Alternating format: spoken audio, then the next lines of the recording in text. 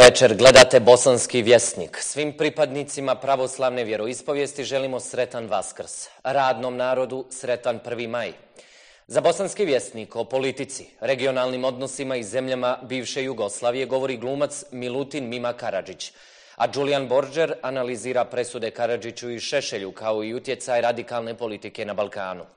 Milorad Dodik i Aleksandar Vučić u dvoboju. Premijer ipak bolje razbija jaja od predsjednika.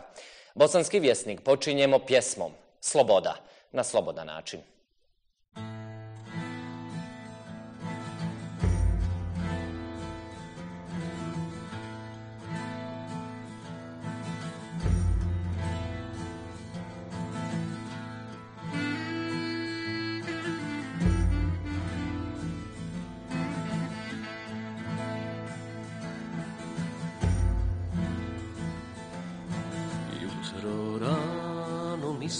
Vraćamo da se u maju ponovo rodimo nekada davno prezresmo vođe. Sto godina prođe bujrum narode slobode usmi narode i lode u tvoje ime i ime slobode crkve i čamije ratove vode. Bujrum narode igara bujrum narode za cara. Hajduk hara, vođa bara, al haram im para.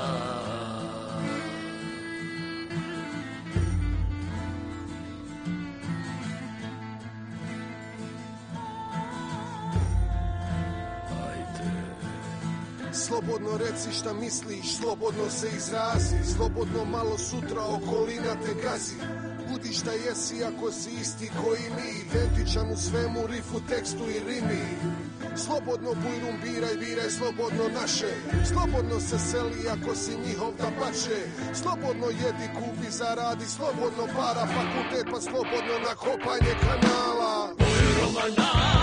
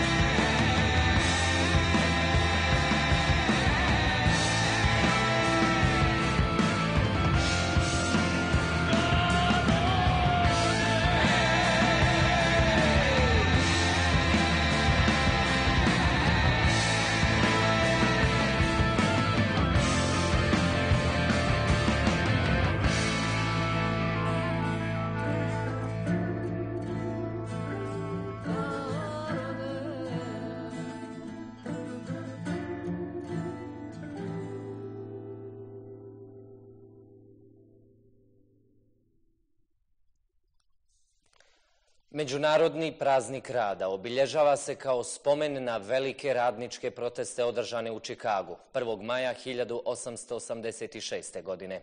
Danas protest zbog kiše.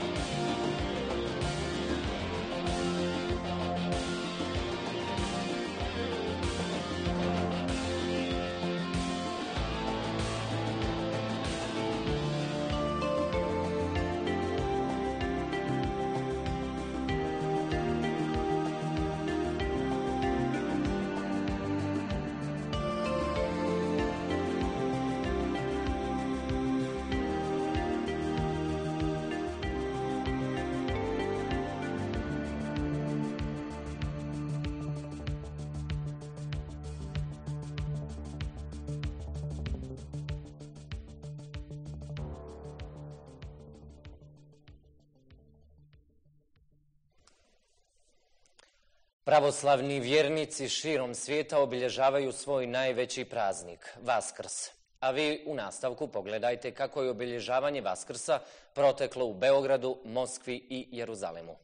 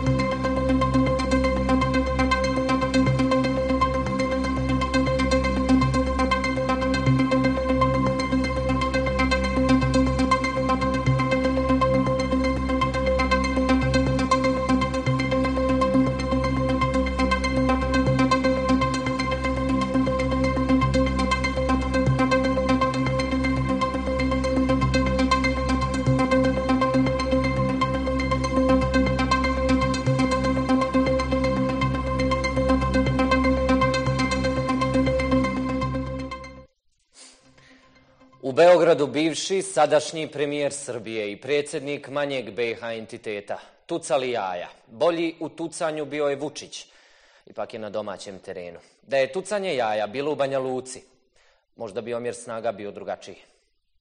Aleksandar Vučić izjavio je da građani ne trebaju brinuti, te da će se nakon ponovljenih izbora u srijedu sve znati, kao i to da je uvjeren kako će sve biti u redu kada opozicija pod pritiskom ubaci još jednu stranku u parlament i dohvati se skupštinskih privilegija. Biće onako kako narod kaže. Očigledno je sada da će svi ti iz cenzus koalicija preći cenzus. Eto im prilike.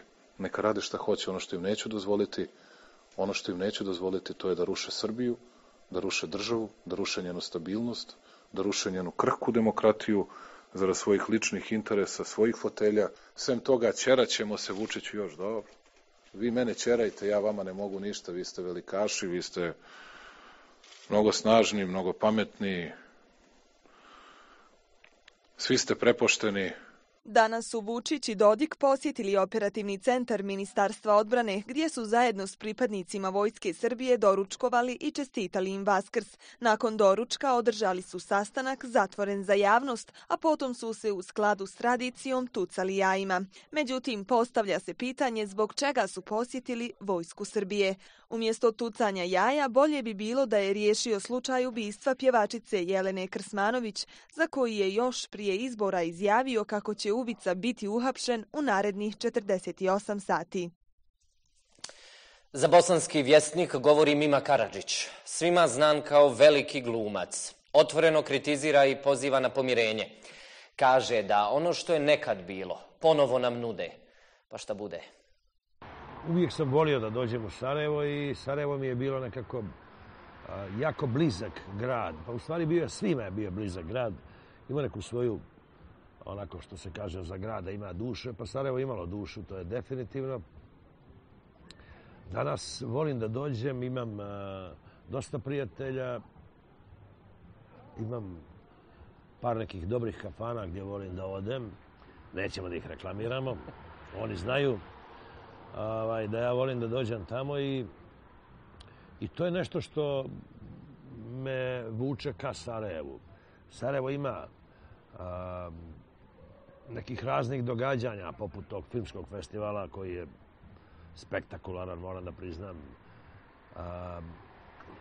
Ima još neke vrste, kako da kažem, dobrodošlice. E, Tako da, s punim pravom, kažem, lijepo je doći u Sarajevo. Ja se stvarno uvijek lijepo osjećam kad dođem ovdje.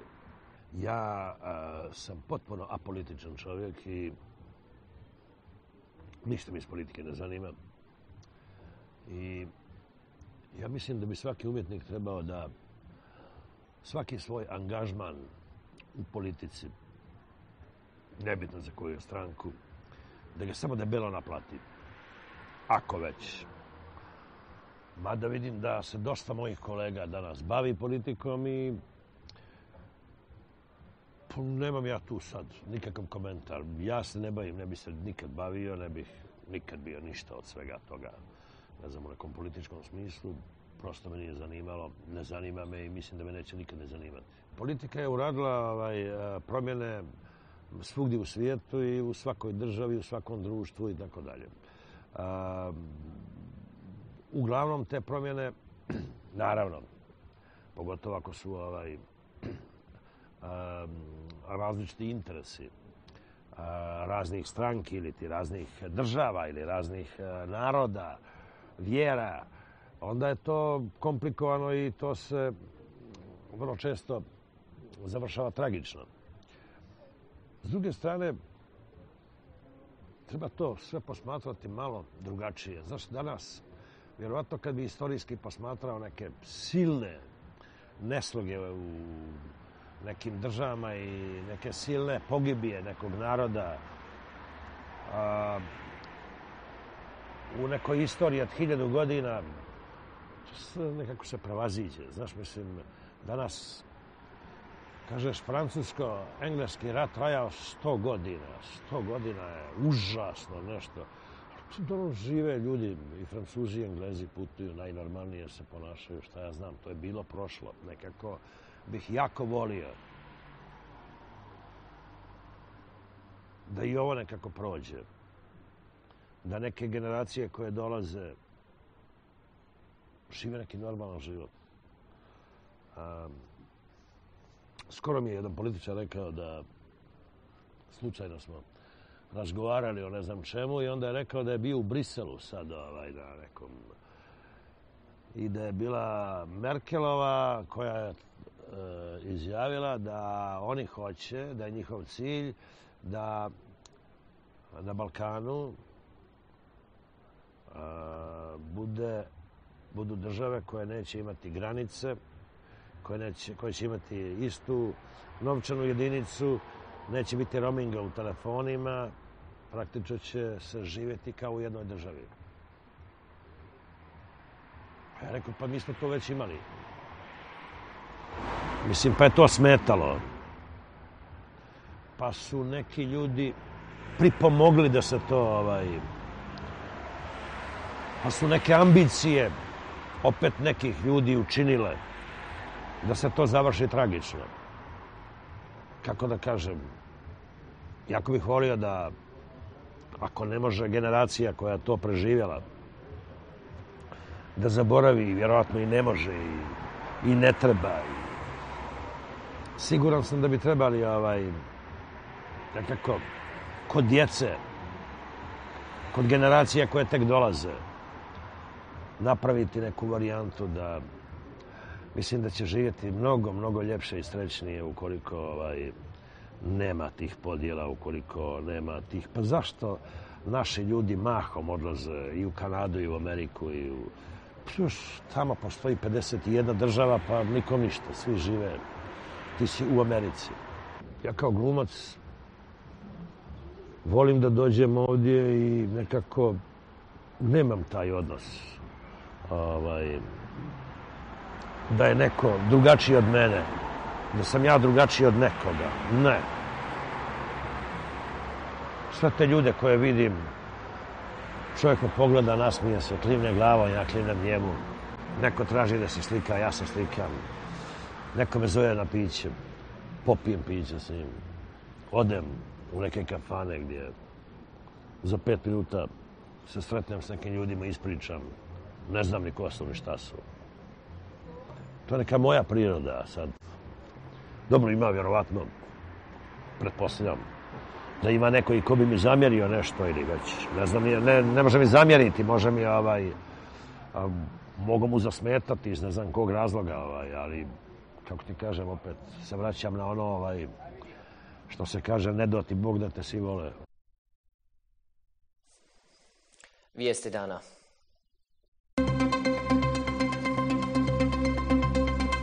U povodu 21. godišnjice akcije Bljesak, državni dužnosnici, porodice poginulih branitelja i predstavnici udruženja, komemoracijom i polaganjem vijenaca u spomen parku Hrvatskih vitezova u Okučanima odali su počast braniteljima poginulima u oslobađanju Zapadne Slavonije.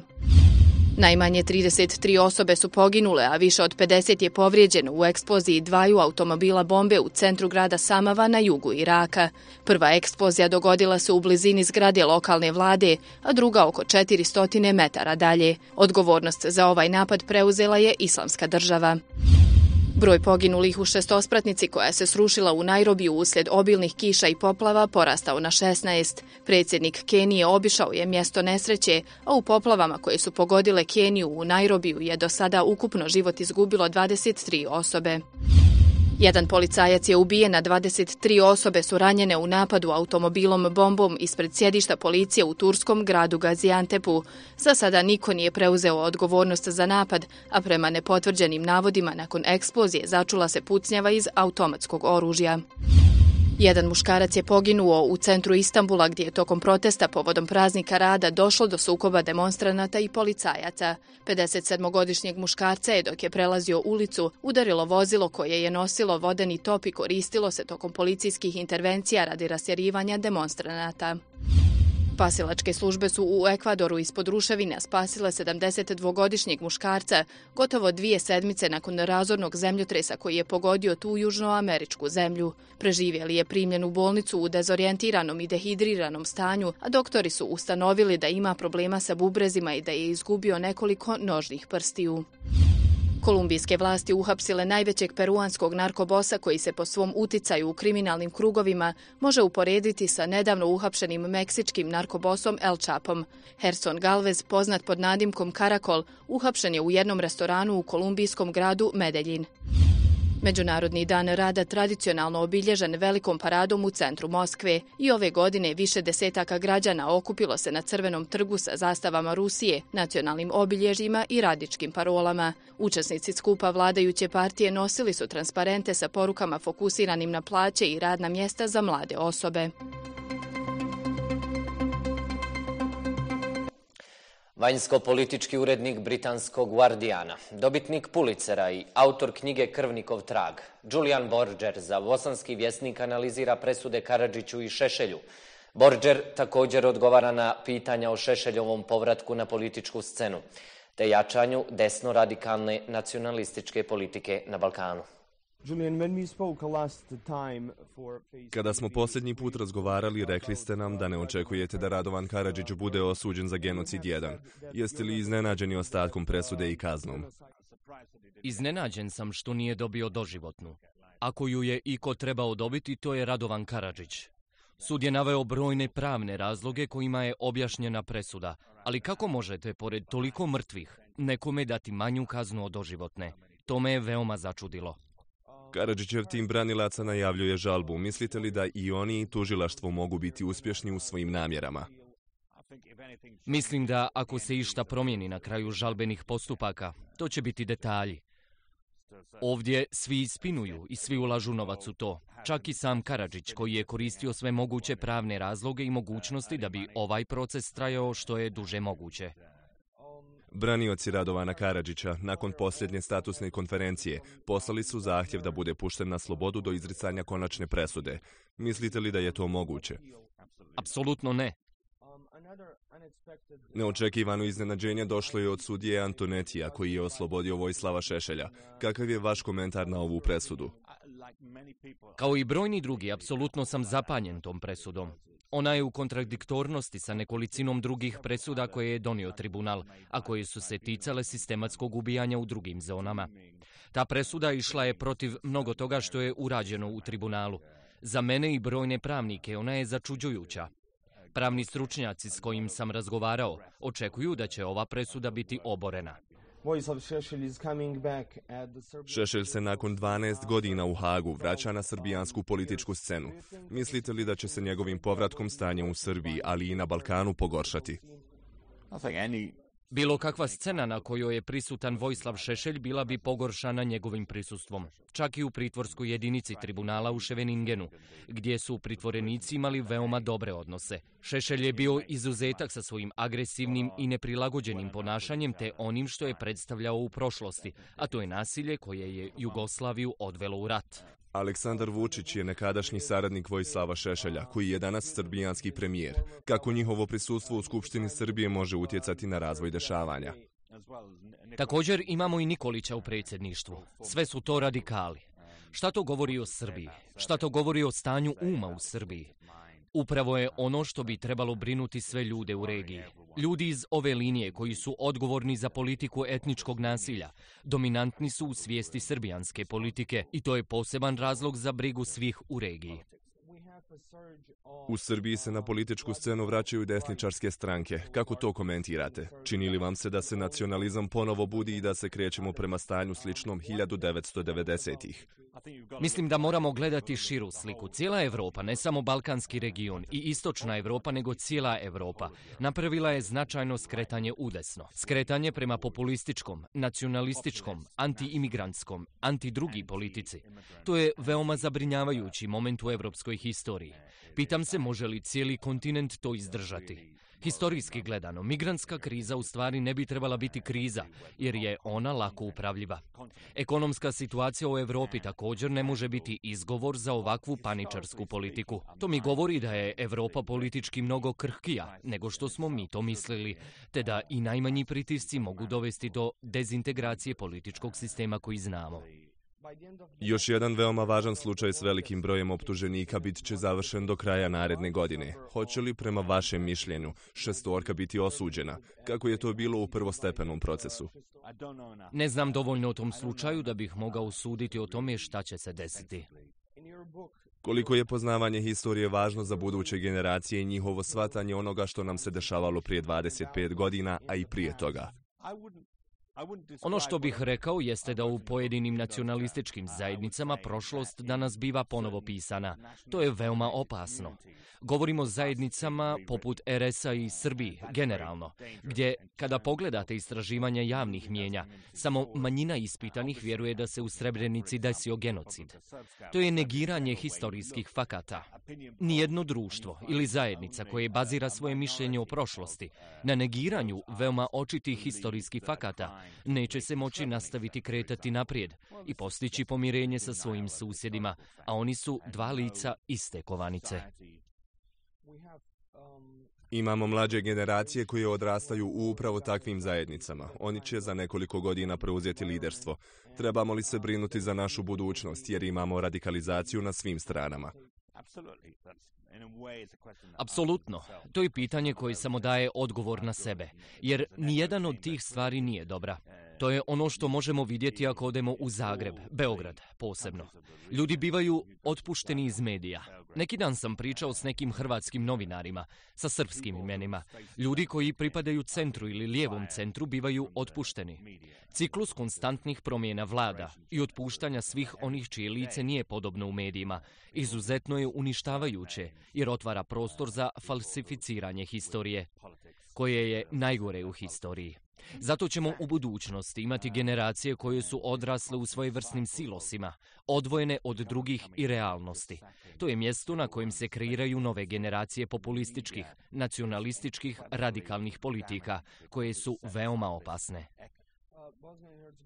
Bosna i Hercegovina je na putu prema EU, ali je različiti pogledi na prošlost i dalje drže zarobljenom. Mogu li knjige poput vaše koje gledaju na BiH sa strane promijeniti to stanje? Da budem iskren, ne mislim da moja knjiga može imati bilo kakvog utjecaja na to. Ono što je važno je da glasači počnu raditi ono što će im konkretno utjecati na budućnost. Okretanje od nacionalističkih lidera, glasanje za ljude koji ih mogu odvesti prema Europskoj uniji, one koji će im pomoći da prodaju ono što proizvode, da dovedu investicije i riješe pitanja političko-ekonomskog života. Samo onda kada ljudi počnu to raditi, desit će se i napredak. Ono što vi vrlo dobro znate je da su sadašnje politike većinom okrenute prošlosti.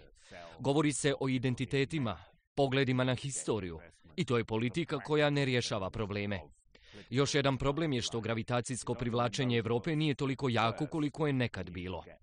Da je Europa jača, to gravitacijsko privlačenje bilo bi lakše i dalo bi snagu biračima da identificiraju Europu i lidere koji bi ih poveli na tom putu. Bili ste u timu koji je svijetu otkrio Snowdenove papire. Nedavno se desio Panama Papers. Može li nam se desiti da u budućnosti imamo i neke ratne papire koji će nam promijeniti mišljenje o ratu na Balkanu? Ne znam dovoljno o onome što još postoji i što nije uništeno. Pogotovo ne znam šta je uništeno u Beogradu. Zato imamo problem da Hag nije mogao dokazati komandnu odgovornost u slučaju Simatović i Stanišić, jer je dosta papira uništeno. Zato mi je teško komentirati, ali u generalnom smislu, što više papira i informacija imamo, imat ćemo bolje gledanje na historijsku situaciju i zdravija društva, ali i politiku. To je moje mišljenje. Ponovo ste u Sarajevu nakon što ste ovdje proveli rat. Kako vam se danas čini i kakve emocije nosite u London s ove posjete? Prvenstveno, svaki povratak je emotivan. To je ono što se dešava meni i svim mojim kolegama koji su tu bili za vrijeme rata. Emocije nas vežu za ovo mjesto. Emotivan sam kada dođem vjerovatno zbog toga što sam s ljudima ovdje dijelio ono što se dešavalo u veoma teškim vremenima. Ovo je jedan prelijep grad, u mnogo različitih smjerova. Mnogo je onoga što morate voljeti, ali svaki put kada odem, tužan sam zbog ljudi koje ostavljam. Stvari se ne pomjeraju, ne pomjeraju se u onom smjeru u kojem se kreću. Bosna bi trebala biti mnogo dalje na putu modernizacije, integracija u Europu i pomirenja. Tužno je što imamo atmosferu da se ljudi koje poznajemo ovdje osjećaju kao da su u procijepu. Šta prvo primijetite kada dođete u Sarajevo? Ono što prvo primijetim su promjene na površini, a većinom su to tržni centri. Volio bih vidjeti više fabrika, onoliko koliko imamo prodavnica. Ono što vidimo je da ljudi prodaju tuđe proizvode ovdje, ali ne možete ljude držati dolje jer su ljudi ovdje u regiji, a posebno u Sarajevu, poduzetni na neki način pomjeraju zemlju naprijed. Mislim da se i pored toga zemlja i dalje sporo pomjera, jer na svojim leđima nosi teret prošlosti. Vratimo se još malo na vašu knjigu Krnikov trag. Jeste li iznenađeni pažnjom i komentarima koje ste dobili ne samo u BiH, nego i u cijeloj regiji? Veoma sam zahvalan na svoj podršci i komentarima koje sam dobio. Izuzetno je lijepo što sam mogao doći ovdje razgovarati s ljudima koji su direktno pogođeni događajima koji sam upisao u knjizi. Izuzetan je osjećaj kada znam da sam napravio doprinos kroz to kopanje stvari i materijala koji nisu bili dostupni do sad i da su ljudi bili u mogućnosti saznati stvari koje nisu znali. Osjećam se počastvovanim, što sam mogao napraviti historijski zapis o mjestu koje mnogo volim. Uživo iz My Face-a nedjeljom od 20 do 22 sata emisija Sav taj sevda. Šta nas očekuje u večerašnjem izdanju zna niko drugi nego Elma Seferović. Elma, dobro večer, jel se čujemo? Se čujemo. Elma, u večerašnjem izdanju emisije Sav taj sevdah, šta nas to očekuje? Ipak je prvi maj, ja se nadam da se spremila neko iznenađenje. Naravno prvomajsko iznenađenje, naravno kao i od samog jutra kako smo mi krenuli ovdje slaviti prvi maj, kako drugačije završiti dan nego uz lijepu pjesmu. S obzirom na to da nam bi bila nekako kiša danas i ovo tmurno vrijeme, ja toplo preporučujem svim gledalcima li da ostanu uz program Face televizije, da prate emisiju Sav taj sevdah i da uživaju. A naravno sve one koji su zainteresovani i raspoloženi da dođu do studija My Face-a, a tebe prvog pozivam da dođeš ovamo u studiju My Face da nam se pridružiš da zajedno proslavimo ovo prvomajsko jeli, praznično raspoloženje. Naravno, Elma, hvala na pozivu. Vidimo se za nekoliko minutica od 20 do 22 sata sav taj sevdah. Upravo tako. Hvala lijepa. Za kraj sportska vijest dana. Bosansko-hercegovački bacač kugle Mesud Pezer nastupit će na olimpijskim igrama u Riju nakon što je ovog vikenda ispunio olimpijsku normu. Ostanite uz Face jer slijedi sportski vjesnik Smirnom Gradaščević. Zatim Savtaj Sevdah uživo iz My Face-a.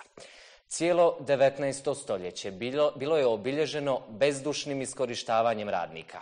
Niske plaće i više sati dnevni rad od 12, čak i 18 sati za odrasle pa i djecu, iscrpljivao je ljude koji su u svim zemljama razvijenog kapitalizma štrajkovima zahtijevali dostojnije uvjete rada i života.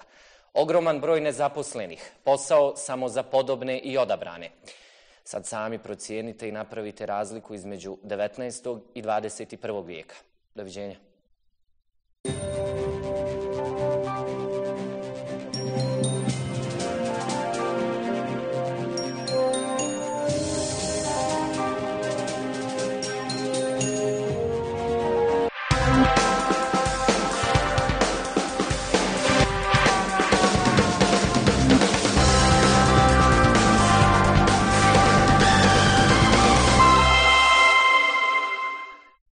Dobro večer, poštovani gledaoci. Gledate Sportski vjesnik.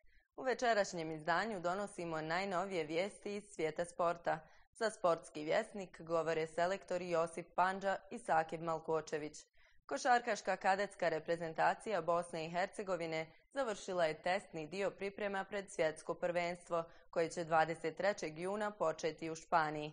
Selektor Josip Panđa prezadovoljan je zalaganjem reprezentativaca, ali ističe da mnogi od njih nisu imali kvalitetan trenažni proces tokom sezone, jer omladinske lige u Bosni i Hercegovini organizaciono još nisu na odgovarajućem nivou.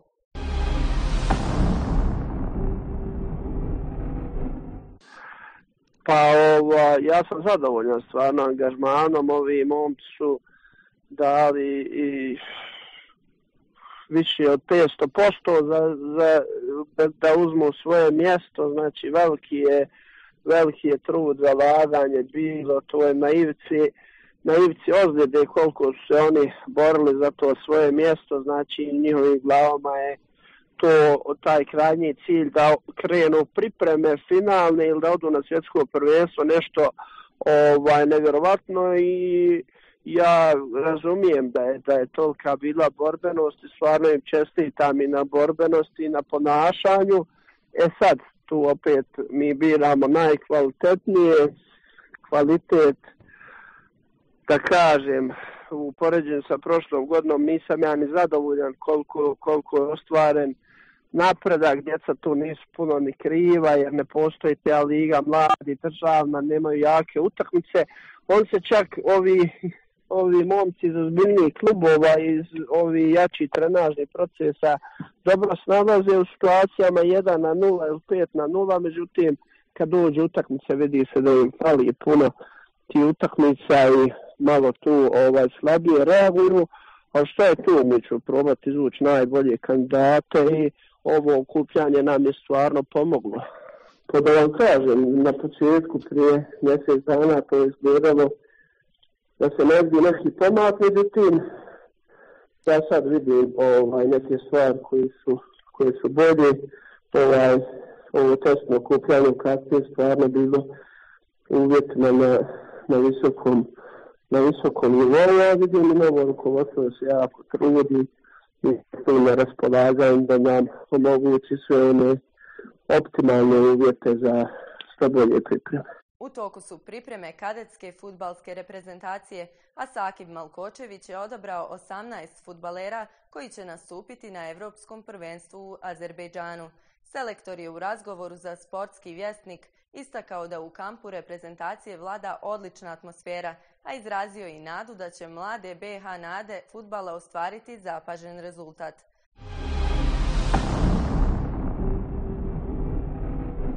Moram zaista da pohvalim ove dječake, sve ono što, što smo planirali do sada smo i, i uradili. Atmosfera i raspoloženje je dobro, nadam se da će tako potrajati i, i u putu i pogotovo tamo na, tamo na Europskom prvenstvu.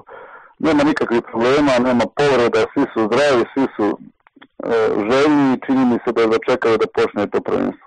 Apsolutno ste pogodili u, u problem ne samo od A selekcije, u stvari od A selekcije pa do, do, do U17. E, stvarno imamo problema u, u, u defanzivi u, u svim selekcijama, ali istina prilikom selektiranja, evo ja znam kako to radi kolega Erbe prilikom selektiranja za U15 reprezentaciju, u, u, onaj uži krug uđe 30 dječaka, od kojih jedva sastavimo tu, tu zadnju liniju. Tako da vrlo često kad se igra na, na ako tražimo kvalitet, znači kvalitet je sve ti kvalitetni igrači su ili vezni igrači ili, ili napadači.